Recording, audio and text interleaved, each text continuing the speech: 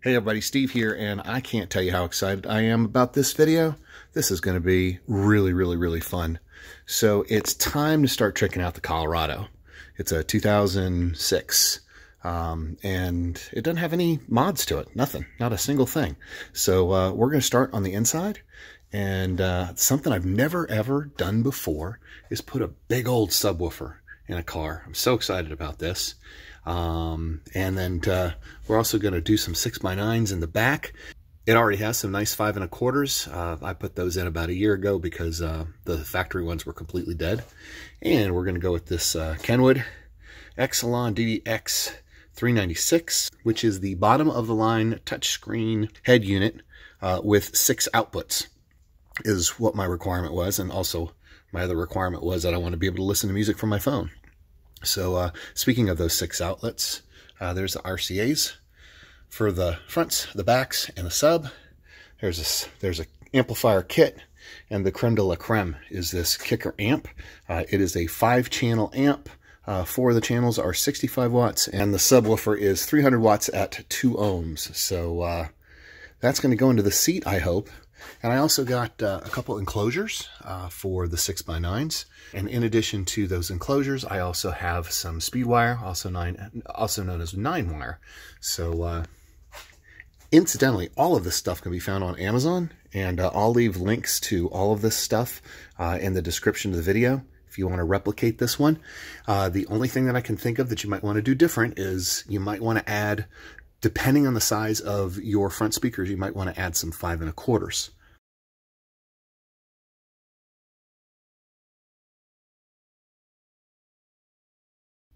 All right, so the first thing I'm going to want to do is before I take any of this stuff out of the box is I want to test fit it in the back of the Colorado because there's not a whole lot of room there. I measured carefully, but uh, you know how that goes. So uh, I'll go check to see if uh, if the stuff is going to fit, and if so, we're going to get started with this. Well, here's the space that I'll be dealing with. Not a whole lot of space, and uh, I hate to have to get rid of that jack, but it's really the only way to fit the subs and uh, the 6x9s back here. Obviously, I'll also be giving up uh, having any chance at uh, stowing anything back here, uh, but I never do anyway. So the jack's got to go, and I'll start test fitting everything. Okay, so on with my test fitting. Um, this is the widest part of the sub, which is going to sit in the middle. And instead of just putting the sub back there and then shoving the seats to their most back positions, I found a box that's exactly the same width as the sub. And it's going to be my test. A little styrofoam box. And incidentally, this is the widest portion of that speaker. And then I've got another one for uh, the other speaker case. And what I'm going to do is I'm going to put these back there and then I'm going to shove the seats back and see if I scrunch them. And if I do, uh, I'll know I'll have to either A, be careful or B, not proceed, depending on how bad it is. So here's my mock stuff. There's my mock speaker and my mock sub and my other mock speaker. And now I can put the seat back and see if it squishes the stuff.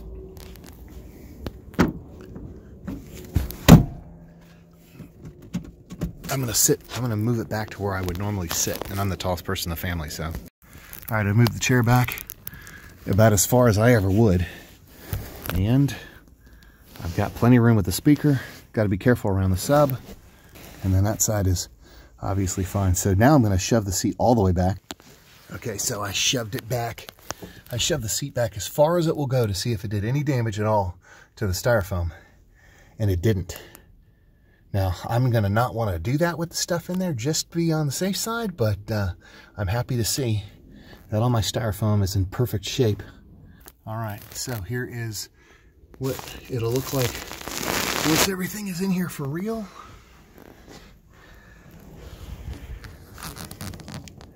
And I'm going to put the seat back and just test fit again.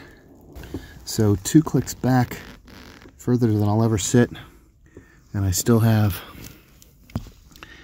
three quarters of an inch is what that looks like. And uh, there's that. All right, so I'm going to start getting going on this dashboard here, but before I want to do any real work, I want to uh, I want to disconnect the negative uh, terminal from the battery. All right, so basically what we've got to do is we've got to get to the stereo and this black piece is obviously in our way. So if you have these tools, it really makes it actually kind of easy and a little less violent on your vehicle. And I'll put a link to uh, where you can get these on Amazon. But I'm just going to pick the one that I think is the best the best go and just basically lift it like that, pry it open. Always a good idea to start in the corners. There we go. Okay, also be careful and gentle because wires. So as you can see with the big black piece gone, now we're just down to this stuff. And there's going to be two, I guess those are probably eight millimeters on that side, one eight millimeter on that side, and then if we need to do the uh, AC stuff, we'll do the AC stuff too. But I'll start getting uh, to work on those now. Now, of course, every application is a little bit different, and this one has already got an aftermarket stereo on it. But once those are done, it's just a matter of pulling it out. Looks very scary, but it's, it's really not that scary. What we're after is that guy right there, which is the aftermarket stereo to, to the car wiring harness. Couple things, we got an antenna, just a few things we need to, uh, few things we need to um, disconnect here, uh, but nothing too, too terrible. All right, so with that radio out, this is what we're looking at right here. And upon first inspection, uh, the double din is not going to fit with that big piece of metal in the way. So I can either bend it backwards or bend it forwards and backwards until it breaks off.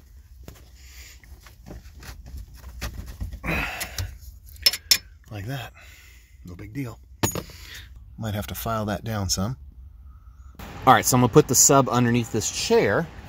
I'm gonna pull the chair out. That'll just kind of help me to be able to see everything. So there's a bolt with a seat belt on it.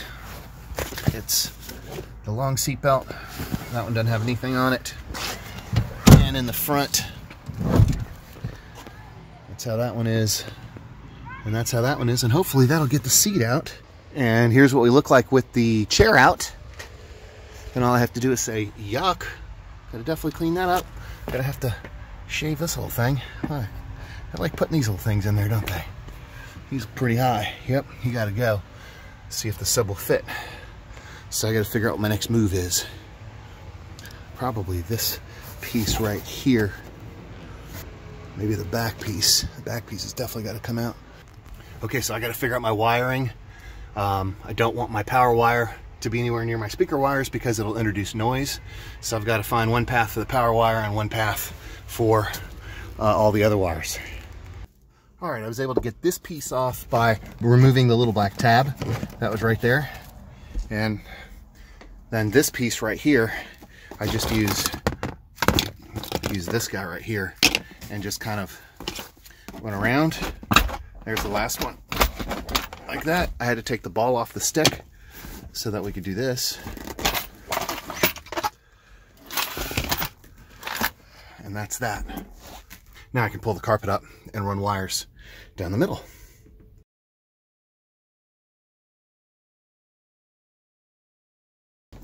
Now, I've spent the better part of the last hour getting everything out of the car, and uh, the carpet is right there, and the seats. Oh, there's one seat. There's the other seat, but you get the picture. All right, so first thing we got to do is we got to get this uh, amp cable going from the battery to inside the car, which means we got to go through the firewall, which means we need to pick a good firewall spot. Because I have a clutch and I didn't really see any good places to come in over on the driver's side, I'm looking to come in on the passenger side. I got a nice, lot of uninterrupted space down there where I can just come through the firewall. And what I did was um, I went on the other side. I tapped a punch up against the metal to see where it came through. There's where they were coming out on the other side, so I know I'm not going to punch into anything. So I feel pretty good about drilling through. In pretty good shape. So now I'm going to take a step bit and uh, make the hole bigger. That's essentially where it's going to end up in the car. This car's been gutted because uh, I flooded it. And the carpet was moldy, so I figured this was a good time to pull the uh, pull all the carpet out and, and uh, and exchange it, or at least let it dry. But here's where I'm going through. I'm gonna use a step bit until I get a hole the size that I need, and then I'll feed the uh, I'll feed that cable through. All right, so we got a nice hole. I'm gonna put a grommet in there and uh, run my wire through it. All right, so I have decided to go behind the whatever that is, the protective layer of the firewall, and uh, just kind of took it apart right here so that I could run along there, and then I'm dropping down. Um, this stuff has got some nasty fiberglass in it. So, so I'm feeding it on this side, and as soon as it binds up, I jump around to the other side, and it pops down yonder, all the way down there, and it comes out my nice new grommeted hole. And I got enough to go back to the back wall where I think the amp is going to end up. Not sure yet. One thing to pay particular attention to is if you see the wire right there, it's touching this heater hose. I'm going to want to either reroute it or protect it. Uh, I don't want to touch any of that hot stuff there. It is not essential to take everything out of the vehicle. However, this thing was left outside overnight and we got about four inches of rain that night. And uh, when I opened it up, um, it was just a big puddle of, of, of muck and yuck. So um, this has been drying out for several days now, and it still kind of stinks. But uh, I think by the time I'm ready to put this thing back in, it'll be good to go. So, uh, so yeah, not essential that you do that, uh, but helpful. I'm looking up from underneath, and I'm very concerned about my wire being this close to the heater hoses and being uh, to essentially, there's the exhaust right there. So I'm going to mark the wire right at the firewall and up there. I'm going to put some um, protective coating on this wire that will protect it from the heat. Because nothing's hooked up right now, and even though it's a pain in the ass to do it right now, uh, it'll be a bigger pain in the ass to do it at some point later after the wire melts. So here we go. Okay, so I had to pull the wire back through the firewall. So this is my mark right here, and then my other mark. And what I'm going to be doing is because that six inch path right there or so is what's going to be super close to the um, exhaust and the heater hoses. I'm going to use this DEI fire sleeve and tape kit, cut off um, probably six or eight inches, and uh, slide it up the hose to where it's right there and then reroute the power wire back through the firewall. And uh, I'll have peace of mind knowing that I did what I needed to do to protect this wire. All right, so I've got the DEI fire tape stuff on, and now I'm ready to feed it back through the firewall. Uh, all right, so now I feel much better about protecting this wire down there by the exhaust manifold. There's the manifold right there. There's the wire. Uh, it's protected now. Okay, so I've determined where I want the amplifier to go, and I want uh, easy access to all of that stuff. So this is going to go out to the outside, and then the uh, power and all the other stuff will go to the inside, and there's a ground right there. So there's that. So I've got it in there, and I've marked my holes, or marked my spots. Okay, so I've got two concurrent situations going on here. Number one is the unlevel terrain even though I took a hammer to it earlier today, I wasn't able to hammer it completely flat. Um, so I'm still dealing with that. But what I've done is uh, I've cut this to try to get as close as possible. And then I noticed it was sitting really, really high, so I've got some spacers in there. Those spacers are glued down. That's So one issue is dealing with the unlevel terrain, and the second issue is dealing with the fact that I don't want to drill into the sheet metal, because I just don't. So what I've done with these is, if you can see the threads in there, I've tapped these so that I can just run a bolt through it. And I think that'll be enough to um, keep it locked down. So essentially what's going to happen is these guys are glued down. This guy is going to get glued to these guys. And then I'll be able to put the carpet in. And then I'll just kind of cut in the carpet and my holes will already be there for me, measured. Okay, so I've got the stereo out of the box, and it is obviously going to go in there. So I'm going to use this pack right here. The directions were nothing but crap, so we're going to figure it out for ourselves. But essentially, this guy goes in here. He's got to hold on somehow, so uh, we've got right here, right here, we've got three, ooh, three places that it can hold on to. So, so these two guys right here, these two guys right here, are these puzzles, two of these tabs will work, and the rest of them you break off. So let's go figure it out. And if you look carefully, they do say left and right. So at least they're that helpful. Okay, so I've determined that I want to use this one right here. So I'm going to break all the rest of them off. I've already broken one off in the back. And then here, I'm going to break this one off. I'm just going to kind of work it back and forth with the pliers and uh, and break it off. And uh, I'm not going to do it with one hand. So breaking these tabs is a little nerve-wracking. So uh, if you have the means to do it, I highly recommend using this instead.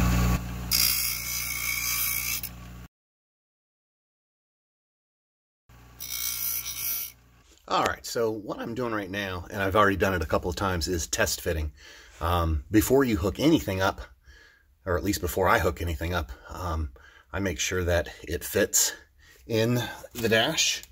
And uh, if I were to put this in, I'm off by a little bit, so I have to make some adjustments. And the way you make those adjustments is with all of your options here. All those little holes so as you can see, I'm, I'm at a pretty good angle right here along this part right there. And then on the other side, I'm flush. So uh, I've got to loosen those screws and move this around to where it lines up better with the other side and try it again. Okay, so four was the magic number. Um, just plan to have a lot of patience when you do this part because it's going to take some wiggling and jiggling, but it'll get there. All right, so with the radio test fitted, it's time to start wiring everything up.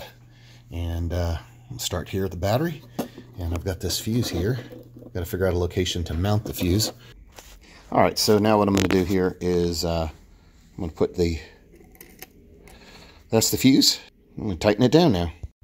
All right, so this is all set. I'm not going to hook anything up right now because uh, that wire's inside the car and it is live. All right, so with everything taken care of under the hood, it's time to hook up the power and ground. Right yonder, probably upside down. That's where we're going to go. That's where we're going next. The red's going to go to 12 volt, black's going to go to ground. And uh, so that must mean that little one is, uh, that one's going to be for our switch power. Okay, let's talk about wiring. This is the wire harness that came with the radio or the stereo, whatever you want to call it.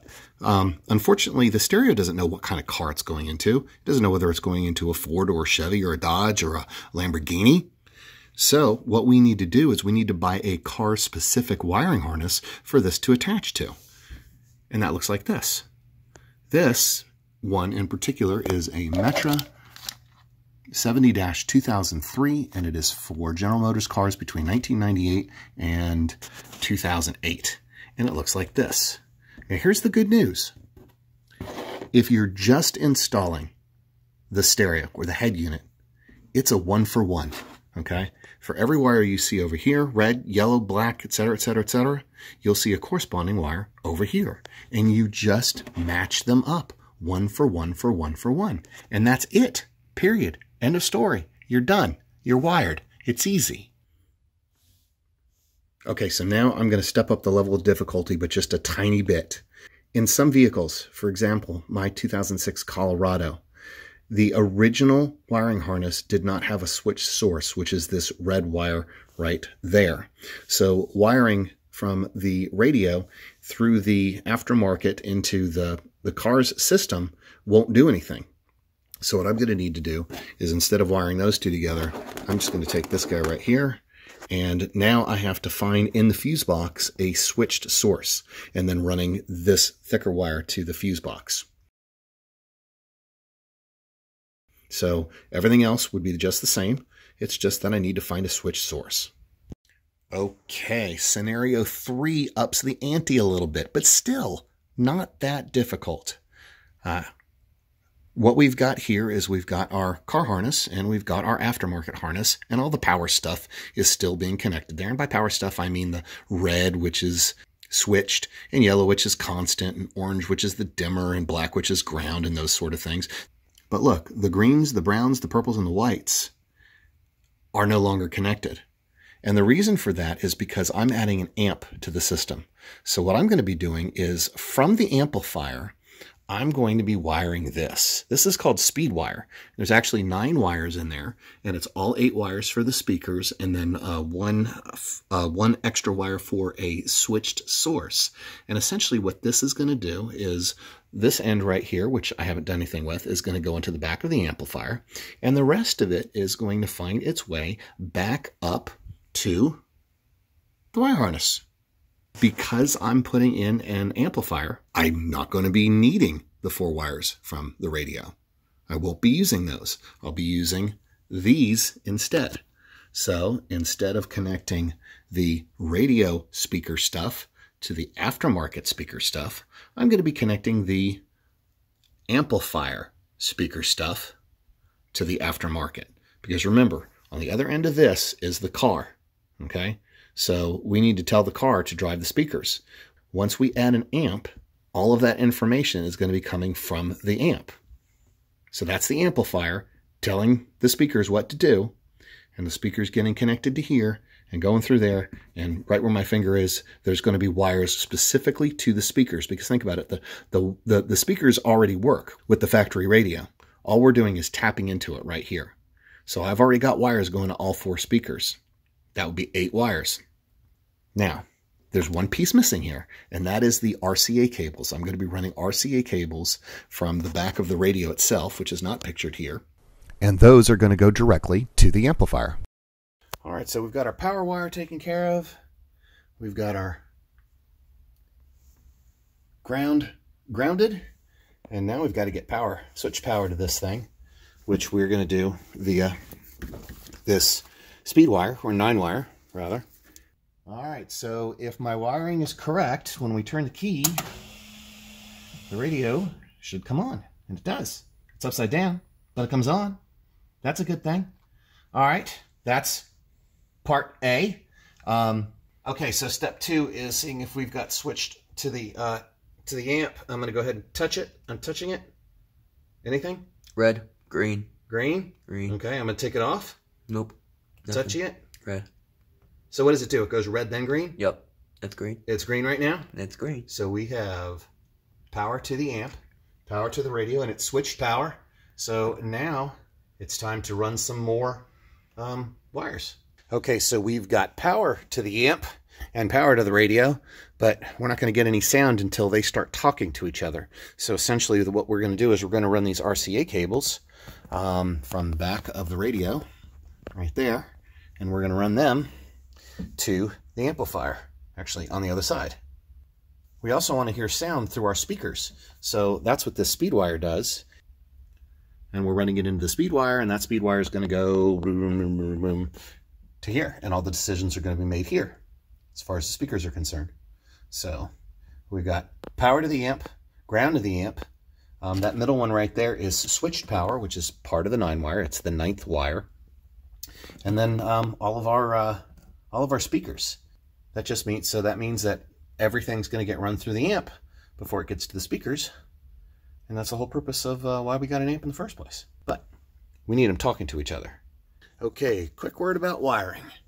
All the RCAs are plugged in, and I tried to send everything over the big piece of metal because the vast majority of these connections are going to be above that piece of metal, and I didn't want to get them all bound up. So now it's just a matter of shoving this all back up in there and bolting it down, but I'm not going to do that. No way.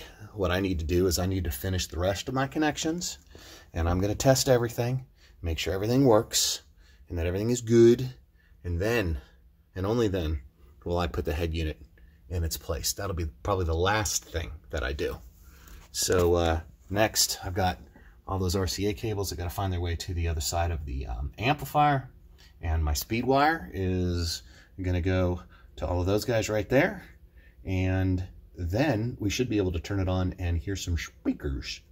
Okay, so something weird about this 2006 Colorado is that the stock stereo did has no um, has no switch power in it. Apparently, it's all done through the computer, I guess, because there was no switch power. So I got to go through the firewall again So um, what I'm going to do is I'm going to tap a fuse in the fuse box, and this car has no interior fuse box, unfortunately. So I found a switched fuse right there. And what I'm going to do is this red wire, this guy right here, is actually I've got my little fisher, my little fishing thing.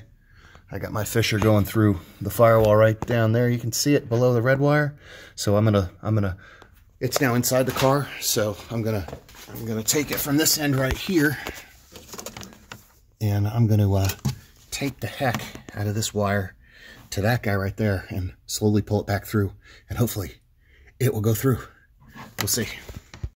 All right, I've been trying to get a handle on the wiring. I got the uh, 9 wire and all the RCAs coming down this side and going in. I got to clean that up as soon as I figure out how much access I have. I've taped this all down, kind of planning my route. And then on the other side, I've got uh, the power. So power coming down that side of the car and then coming around here and going into there. Because you don't want to have your power and your RCA cables um, you want to keep them separated as much as you possibly humanly can so it doesn't offer any interference. So we're kind of clean. I got my power wire from the uh, from the fuse box that I still got to throw up there. And then the monster. It's actually pretty much all wired up, the exception of that temporary one. Um, but yeah, got that to do. And um, the biggest, hardest part is fitting it all back in there. Yikes. All right, so I've made a little bit of progress. Uh, I said earlier I wasn't going to put it back in, but I put it back in because I needed to test everything and make sure that it worked. And uh, everything works, so I think I'm just going to kind of leave it there for now. I'm not going to bolt it down, but uh, but it's in. Okay, so as far as the wiring of the speakers is concerned, um, all the front speakers, the grays and the whites, are done and the red and the black is the sub. I called an audible on the rear speakers because this car never had rear speakers before.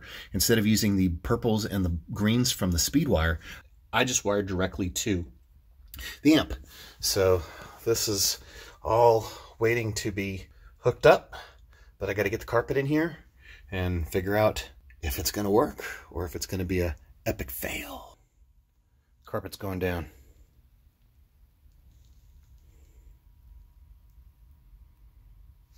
All right, so with the help of a couple of assistants, it's in. And now I must commence the cutting. So I know that this is an edge right here, so I'm going to start there and uh, try not to cut any of the wires below. Yay. So here we are with the carpet back in. And it's a little rough around the amp, but really there's a chair going to go over this anyway, so nobody will ever see it. And I still have some good access uh, if I ever need it. And of course, you definitely want access to this side right here to uh, dial it in. And that will still be accessible even when the chair gets put back in.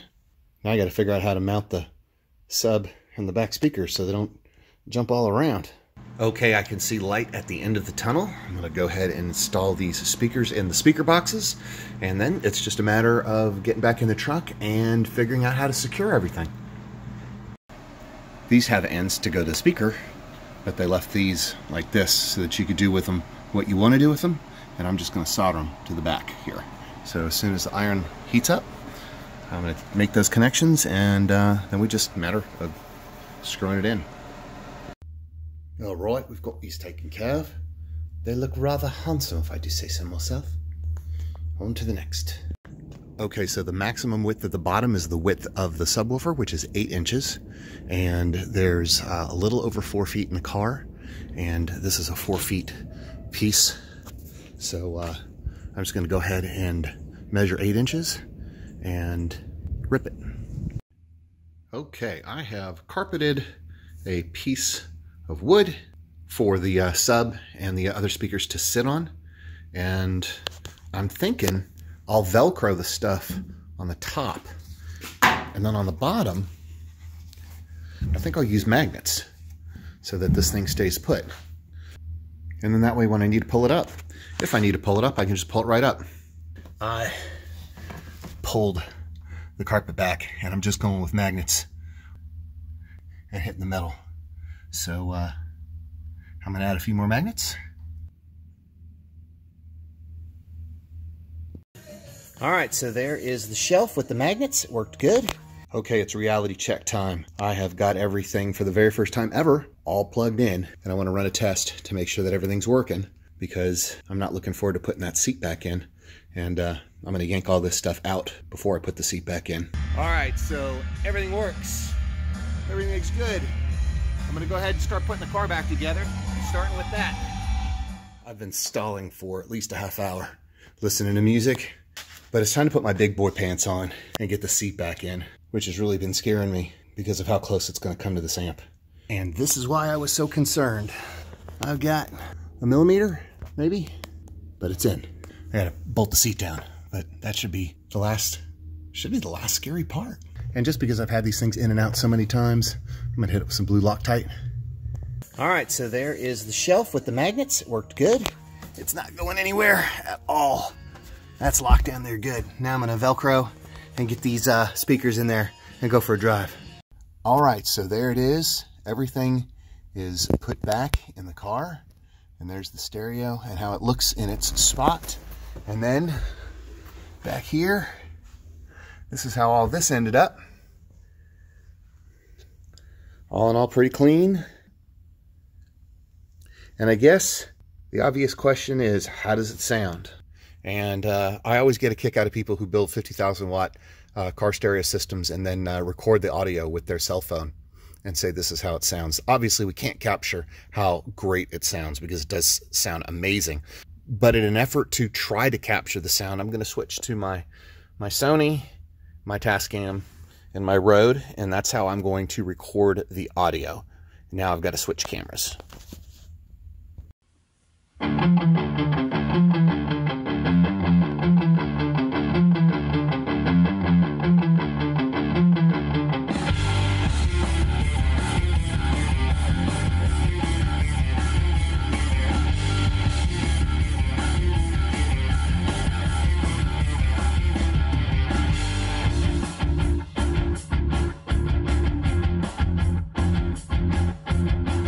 All right, with this one, I'm going to try to push the bass a little.